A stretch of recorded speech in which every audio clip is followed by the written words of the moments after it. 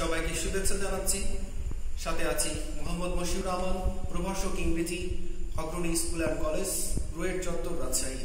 Today I am going to discuss the third part of the very grammar item the transformation of sentence আজকে আমি transformation of সেন্টেন্সের দ্বিতীয় step এ খুবই গুরুত্বপূর্ণ দুটি রুলস নিয়ে আলোচনা করব। আশা করি তোমরা সবাই উপকৃত হবে। Okay have a look at the whiteboard eight simple সেন্টেন্সটির object একাধিক শব্দ দিয়ে থাকে। অর্থাৎ সিম্পল সেন্টেন্সের অবজেক্টটি যদি একাধিক শব্দ দিয়ে থাকে, সেক্ষেত্রে কমপ্লেক্স করতে হবে relative pronoun who whose that who whose that well what বা ভার ইত্যাদি দ্য হুইজ ওয়ার্ড বা রিলেটিভ প্রোনাউন সংযুক্ত করে। এবং কম্পাউন্ড করতে হবে অ্যান্ড ও শেষে অফ ইট বসিয়ে।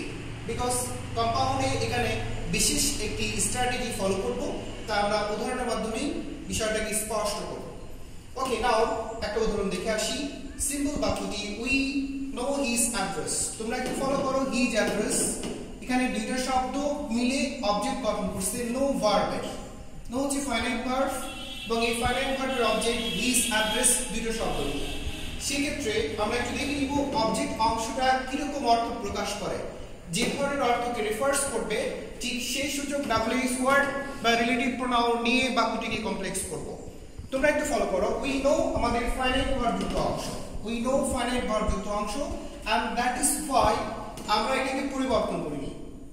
মাঝখান থেকে যে কাজটা আমরা করেছি, যে হিজ অ্যাড্রেস এই অংশটা একটি নাউন ফ্রেজ ছিল, সে নাউন ফ্রেজ আর এই নাউন ফ্রেজটিকে কমপ্লেক্স করার সময় একটি ক্লজ রূপান্তর করেছি, সেই ক্লজটা আনডাউটেডলি সাবঅর্ডিনেট ক্লজ তাহলে এই যে ক্লজটা আমরা লিখলাম ওয়ার হি রিসাইডস কেন ওয়ার লিখেছি because his place his address অংশটুকু প্লেস বা জায়গাকে প্রকাশ করেছিল। এ কারণে আমরা ওয়ার শব্দটি ইউজ করেছি। আর অ্যাড্রেস মানে দ্যাট মিন্স আমরা জানি তার অ্যাড্রেস সে যেখানে থাকে, তার অ্যাড্রেস আমরা জানি। দ্যাট মিন্স সে যেখানে বাস করে বা থাকে, সেই জায়গাটা আমরা জানি বা চিনি, এরকম অর্থ প্রকাশ করে। দ্যাট ইজ ওয়াই অ্যাড্রেস শব্দটিকে আমরা তুলে দিয়ে বাস করা ইংরেজি রিসাইডস তোমরা ইচ্ছা করলে লিডস লিখতে পারো নো প্রবলেম এইভাবে আমরা বাক্যটিকে কমপ্লেক্স করি। নাও এবার আমরা বাক্যটিকে কম্পাউন্ড করব। এইটাই সেন্টেন্সগুলোর ক্ষেত্রে কম্পাউন্ড করতে হবে দ্বিতীয় ক্লাসটিকে প্রথম অংশে লিখে এবং প্রথম ক্লাসটিকে দ্বিতীয় অংশে লিখব এবং যখন প্রথম ক্লাসটি দ্বিতীয় অংশে লিখব the very important thing is that শেষ অংশে অফ ইট যোগ করব। তোমরা একটু লক্ষ্য করো। দেখো he resides in a place আমরা ওয়ার শব্দটিকে তুলে দিয়েছি, তুলে দিয়ে সে একটি জায়গায় বাস করে বা থাকে। এরকম একটা অর্থ প্রকাশ করেছি। এজন্য এডিশনালি ইন এ প্লেস সংযুক্ত করেছি। এবং মাঝখানে নো প্রসিদ্ধ ব্যবহার অ্যান্ড কম্পাউন্ড সেন্টেন্স আমরা অ্যাড ইউজ করেছি। তারপরে উই নো অফ ইট তোমরা একটু ফলো করো। উই নো এখানে আমাদের ফার্স্ট ক্লাস উই নো ছিল বাট কম্পাউন্ড করার সময় আমরা দ্বিতীয় অংশ উই নো লিখছি। এবং অতিরিক্ত হিসেবে আমরা কি যোগ করছি? অফ ইট যোগ করছি। যেহেতু রুলসটা কিছুটা ক্রিটিক্যাল তাই আমরা কয়েকটি উদাহরণ দেখে আসব যাতে আমরা খুব সহজেই বিষয়গুলোকে লক্ষ্য করতে পারি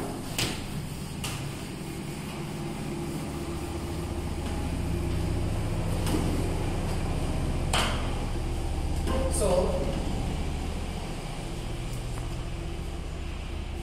tell me the truth. So, এটা একটি সিম্পল সেন্টেন্স আমরা এই বাক্যটিকে কমপ্লেক্স করব সংক্ষেপে সি এক্স লিখলাম তোমরা একটু ফলো করো দি ট্রুথ এই যে দি ট্রুথ অংশটুকু অবশ্যই বস্তুবাচক কোনো আইডিয়া প্রকাশ করে। ট্রুথ সত্য কোনো আইডিয়া বা ধারণা। দি ফ্যাক্ট বস্তুবাচক এবং এই বাক্যটিকে যখন আমরা কমপ্লেক্স করব অবভিয়াসলি ওয়ার্ড বসিয়ে আমরা কমপ্লেক্স করব, যেহেতু বস্তুবাচক ধারণা প্রকাশ করে। দ্যাট ইজ ওয়াই এই বাক্যটাকে যদি আমরা কমপ্লেক্স করি we can do it in the way tell me আমাদের ফাইনাইট ভার্ব যুক্ত অংশ tell me what is true tell me what is true তোমরা একটু ফলো করো, এই যে হোয়াট ইজ ট্রু এই অংশটা আমাদের সাবঅর্ডিনেট ক্লজ আর টেল মি হচ্ছে আমাদের ফাইনাইট ভার্ব যুক্ত অংশ। আমরা যেটাকে উই ক্যান সে এটাকে আমরা মেইন ক্লজ বলতে পারি। এবার আমরা এই বাক্যটাকে কম্পাউন্ড করব। সেক্ষেত্রে বলেছিলাম দিকে ক্লাসটিকে প্রথমে লিখব ওয়ার্ড দিয়ে বস্তুকে মিন করে। এই জন্য আমরা লিখলাম it is true and until me শেষ অংশে আমরা অফ ইট যুক্ত করব অথবা অ্যাবাউট ইট এইভাবে আমরা এই বাক্যটাকে সিম্পল থেকে খুব সহজেই কমপ্লেক্স এবং কম্পাউন্ড করতে পারি আমরা এবার আরেকটু ধরুন দেখে আসি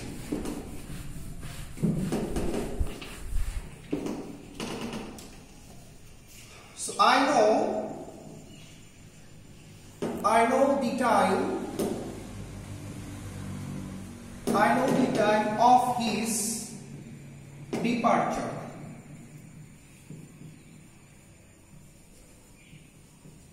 I know the time of his departure বাক্যটি সিম্পল এবং এই বাক্যটিকে এবার কমপ্লেক্স করব। তোমরা একটু ফলো করো। আই নো পর্যন্ত আমাদের ফাইনাইট ভার্বযুক্ত অংশ। ফাইনাইট ভার্বযুক্ত অংশ। Listen the time of his departure you know এটা একটি ফ্রেজ আমরা এটাকে নাউন ফ্রেজ বলতে পারি বিকজ মূল শব্দটা ডিপারচার সো আমরা যে কাজটা করব আমরা যে কাজটা করব, এই ফ্রেজটাকে কমপ্লেক্স বা কম্পাউন্ড করার সময় অবভিয়াসলি একটি ক্লজে রূপান্তর করব। এবং সেক্ষেত্রে দেখব যে সিম্পল সার্ভিসের অবজেক্ট যেরকম অর্থ প্রকাশ করে the time of is departure এটা একটি টাইম বা সময় প্রকাশ করে টাইম প্রকাশ করে। এবং এই কারণে এই বাক্যটিকে আমরা কমপ্লেক্স করব, when সাবঅর্ডিনেট কনজাংশন বসিয়ে। তাহলে আমরা এবার এই বাক্যটিকে কমপ্লেক্স করব সেক্ষেত্রে আই নো আমাদের ফাইনাইট ভার্ব যুক্ত অংশ রাখলাম I know the time his ওয়ার্ডটাকে আমরা সাবজেক্ট করলে, obviously হি দিয়ে চেঞ্জ করব he will depart he will you know depart depart শব্দটা ভার্ব ডিপারচার শব্দটা নাও এবং যখন আমরা মডেল ইউজ করব মডেল এরপর অবশ্যই আমাদের ভার্বের বেস ফর্ম লিখতে হবে। নাও কাম টু দি পয়েন্ট আমরা খুব সহজেই এই যে আইডেন্টিফাই করতে পারি when he will depart, এটা আমাদের সাবঅর্ডিনেট কনভেনশন এই বাক্যটাকে যদি আমরা কম্পাউন্ড করি, খুব সহজেই কম্পাউন্ড করা যাবে। সেক্ষেত্রে দ্বিতীয় ক্লাসটিকে আমরা প্রথমে লিখব, এটা হবে এরকম যে he will he will depart on time on time that means specific, fixed time on time এবং time এর মধ্যে বেসিক একটু পার্থক্য আছে। আমি এক কথায় বলি অন time আমরা তখনই বসাবো যখন ফিক্সড কোনো টাইম ফিক্সড কোনো আইডিয়া প্রকাশ করবে। নির্দিষ্ট সময়ের পূর্বে অন টাইম হয় এবং নির্দিষ্ট সময়ের আগে কোনো কিছু সংগঠিত হওয়ার ক্ষেত্রে ইন টাইম ব্যবহার করতে হয়।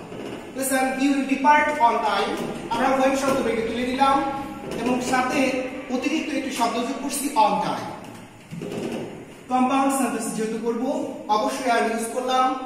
আই নো এই ক্লাসটিকে এবার দ্বিতীয় অংশ আই নো শেষ অংশে অফ ইট করতে হবে ইন ওয়ে খুবই সহজে আমরা সিম্পল থেকে কমপ্লেক্স এবং কম্পাউন্ড করতে পারি। আমরা আরেকটি বাক্য দেখি, তারপরে আমি কয়েকটি হোমওয়ার্কস দিব, তোমরা বাসায় প্র্যাকটিস করবে।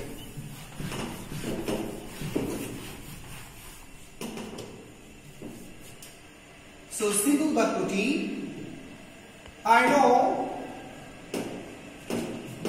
I know.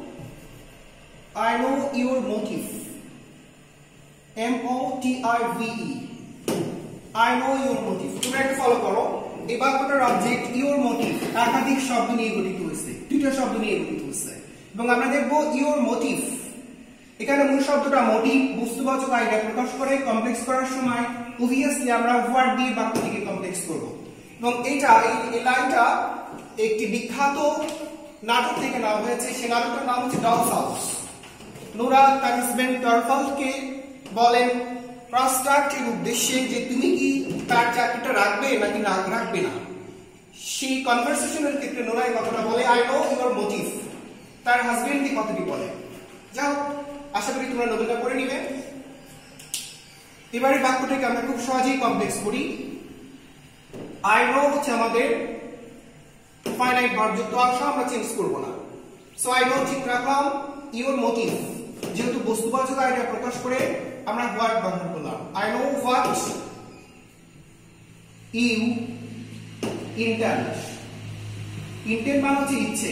এখানে মোটিভ মানে হচ্ছে অভিপ্রায়, ইচ্ছা intention that is why intention শব্দটার ভার্ব হচ্ছে ইন্টেন্ট আমরা এটাকে চেঞ্জ করে ইন্টেন্ট লিখছি। না স্যার আমরা বাক্যটিকে কম্পাউন্ড করব সো এরকম ভাবে you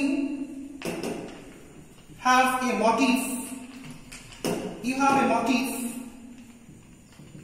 অথবা মোটিভের পরিবর্তে উই ক্যান সে ইন্টেনশন আমরা ইন্টেনশন ব্যবহার করতে পারি you have a motive and I know about it. About it. আশা করি তোমরা রোজটি বুঝতে পেরেছ বাসায় আমি তোমাদের কয়েকটি হোমওয়ার্কস দিই, তোমরা প্র্যাকটিস করবে। লিসন প্রথম বাক্যটি we know his working place এখানে হিজ ওয়ার্কিং প্লেস শব্দটি একাধিক, হা, শব্দ নিয়ে গঠিত অবজেক্ট সিম্পল সেন্টেন্সের দুই নম্বর বাক্যটি we know his birth place এখানে অবজেক্ট হিজ বার্থ প্লেস তিন নম্বর বাক্যটি আই নো হিজ প্রফেশন এখানে অবজেক্ট হচ্ছে হিজ প্রফেশন চার নম্বর বাক্যটি tell me the time of his arrival এখানে অবজেক্ট হচ্ছে the time of his arrival পাঁচ নম্বর বাক্যটি I do not realize your intention এই বাক্যটিতে object your intention I think তোমরা এগুলো নোট করবে এবং বাসায় প্র্যাকটিস করবে। তাহলে এই রুলস রিলেটেড হ্যাঁ বাক্যগুলোকে খুব সহজেই তোমরা সিম্পল থেকে কমপ্লেক্স এবং কম্পাউন্ড করতে পারবে। ওকে আমরা এবার পরবর্তী রুলসে ফিরে আসি স্যার যদি সিম্পল বাক্যটি ইনফিনিটিভ ফ্রেজ দিয়ে থাকে সেক্ষেত্রে কমপ্লেক্স করতে হবে রিলেটিভ প্রোনাউন হু হুইস বা দ্যাট বসিয়ে এবং কম্পাউন্ড করতে হবে অ্যান্ড বসিয়ে Now have a look at the board. Listen, simple বাক্যটি যদি phrase. Infinitive phrase হচ্ছে to plus ভার্বের base from plus তার সঙ্গে অতিরিক্ত শব্দ others word. All together infinitive phrase. Listen, we can say to go. To go হচ্ছে infinitive. To go হচ্ছে infinitive. To go হচ্ছে infinitive. But listen, আমরা যদি বলি to go there. যদি এরকম বলা হয় to go there to go there তাহলে যে বিষয়টা দাঁড়াবে একসঙ্গে টু গো দিয়ার একসঙ্গে ইনফিনিটিভ ফ্রেজ একসঙ্গে ইনফিনিটিভ ফ্রেজ লিসেন আমরা এবার একটু দেখে নিব। কমপ্লেক্স বাক্যটি হাউ হু উইস এবং দ্যাট দিয়ে কমপ্লেক্স করব কম্পাউন্ড করব আর বসিয়ে। আমরা একটা সিম্পল বাক্য দেখি। The woman to dance now is my sister তোমরা একটু ফলো করো টু ডান্স নাও এই অংশটা আমাদের ইনফিনিটিভ ফ্রেজ তোমরা একটু ফলো করো টু ডান্স ইনফিনিটিভ এবং এর সঙ্গে আদার্স ওয়ার্ড ইনফিনিটিভ ফ্রেজ এবারে ইনফিনিটিভ ফ্রেজটিকে কমপ্লেক্স করার সময় বা কম্পাউন্ড করার সময় আমরা ফিউচার ইনডিফিনিট টেন্সে প্রকাশ করব বিকজ সিম্পল ইনফিনিটিভটা ফিউচার ইনডিফিনিট টেন্সকে প্রকাশ করে। এন্ড দ্যাট ইজ ওয়াই তোমরা লক্ষ্য করো হু উইল ডান্স নাও আমরা কেন এখানে উইল ডান্স লিখেছি? বিকজ আমাদের টু ডান্স নাও এই অংশটা আমাদের সিম্পল ইনফিনিটিভ সিম্পল ইনফিনিটিভ এবং সিম্পল ইনফিনিটিভগুলো নরমালি ফিউচার ইনডিফিনিট টেন্সের দ্বারা প্রকাশ করে। তো এই কারণে আমরা উইল ডান্স নাও লিখেছি। তোমরা একটু ফলো করো। এই বাক্যটাতে main clause the woman is my sister main clause মাঝখানে যে ক্লজটা আমরা পেয়েছি this is you know subordinate clause আমরা কম্পাউন্ড করব the woman will dance now এই পর্যন্ত আমাদের নো একটি মেইন ক্লজ এবং মাঝখানে আমরা অ্যান্ড কোঅর্ডিনেট কনজাংশন বসিয়েছি। পরের ক্লজটি হচ্ছে she is my sister. In the way আমরা খুব সহজেই সিম্পল থেকে কমপ্লেক্স এবং কম্পাউন্ড করতে পারি। নাও আমরা আরেকটি বাক্য দেখে আসি, বোঝার সুবিধা অর্থে we can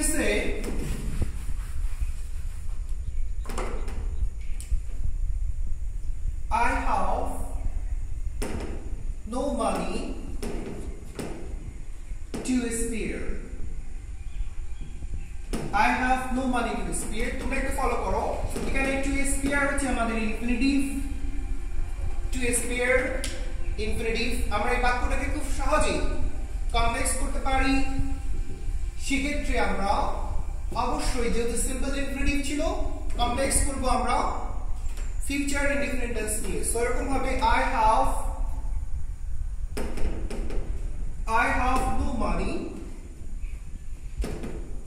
I have no money that I can spare. তোমরা একটু ফলো করো that I can spare that I can spare হচ্ছে আমাদের subordinate conjunction I have no money হচ্ছে আমাদের main clause It's the main clause that I can spare হচ্ছে আমাদের subordinate clause আমরা এবার এই বাক্যটিকে কম্পাউন্ড করব we can say I have no money and I can spare. I have no money and I can spare. In the way আমরা খুব সহজেই এইভাবে সিম্পল থেকে কমপ্লেক্স এবং কম্পাউন্ড করতে পারি আমরা আরেকটি বাক্য দেখি, বুঝার সুবিধা তারপরে আমরা কিছু হোমওয়ার্কস করব ওকে সো সিম্পল বাক্যটি I want to have I want to have a nice house. I want to have a nice house. I want to have a nice house. So তোমরা একটু ফলো করো to have a nice house. To have a nice house এই অংশটা আমাদের infinitive phrase এবং এই infinitive ফ্রেজটিকে অবশ্যই আমরা ফিউচার ইনডিফিনিটেন্সে লিখব লিসেন সো আমরা এই বাক্য থেকে কমপ্লেক্স করি I want I want that